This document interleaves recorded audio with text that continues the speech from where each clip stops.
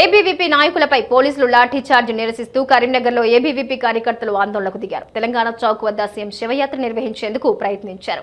పోలీసులు ఈ కార్యక్రమాన్ని అడ్డుకొని ఏబీవీపీ కార్యకర్తలను అదుపులోకి తీసుకున్నారు. కరీంనగర్ జిల్లా ఏబీవీపీ ఆధ్వర్యంలో ఈ కార్యక్రమం జరిగింది. ఈ సందర్భంగా రాస్తారోకో చేసేందుకు ఏబీవీపీ నాయకులు ప్రయత్నించగా పోలీసులు అరెస్ట్ చేసి స్టేషన్కు తరలించారు. పెండింగ్లో ఉన్న ఫీజు రియంబర్స్మెంట్ బకాయిలు స్కాలర్షిప్లను వెంటనే విడుదల చేయాలని పదకొండు యూనివర్సిటీలకు రెగ్యులర్ వీసీలు నియమించాలని జిల్లా ఏబీవీపీ కన్వీనర్ కిరణ్ డిమాండ్ చేశారు. ఈ కార్యక్రమంలో ఏబీవీపీ జిల్లా కన్వీనర్ కిరణ్ ఏబీవీపీ నాయకులు కార్యకర్తలు తదితరులు పాల్గొన్నారు.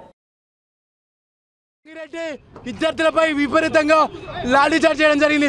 అయ్యా శాంతియుతంగా మా రియంబర్స్మెంట్ మా స్కాలర్షిప్లు మా ఉన్న పదకొండు యూనివర్సిటీలకు వీసీల అడిగితే విపరీతంగా పోలీసులతో దౌర్జన్యంగా నిజాం సర్కార్ కొట్టించడం జరిగింది. ఇప్పటికైనా మాకు పదకొండు యూనివర్సిటీలకు వీసీలు నియమించాలి. రియంబర్స్మెంట్ పెండింగ్ రియంబర్స్మెంట్లు విడుదల చేయాలని విద్యార్థి పరిషత్ డిమాండ్ చేసింది. లేని నెల రానున్న రోజుల్లో గద్దె దింపే వరకు పెద్ద ఎత్తున ఆందోళన చేస్తుందని